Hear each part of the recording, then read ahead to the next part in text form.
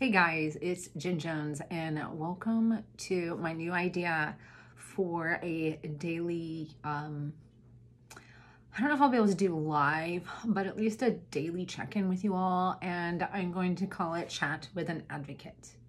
And um, I will also open the forum to other advocates that may want to get on here and we can do, um, I was thinking maybe weekly um, lives where we just get on here and talk about the life of being an advocate, um, what that means, everything from, you know, what it, what it means to be an advocate to what it means to help others understand the importance of being an advocate, um, not only for ourselves, but for others because if there's injustices and others that aren't being treated fairly, then none of us are.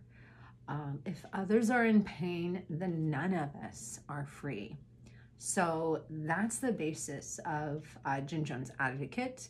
And until we are all free and all our voices are free across the world, I won't stop. So I will be here and I look forward to uh, having other advocates join me and we can talk about it. We can talk about what it means. Um, specifically, we'll, we'll, definitely get into uh, the Pono Cocoa mission and everything we're doing there. Um, and also speak about how that mission and everything we're working to fight um, slavery in cacao, child slavery in cacao, also connects with all the other corporations that are also doing some of the worst uh, human rights violations. So none of us should be forced into labor um, where we're kidnapped um, slaves.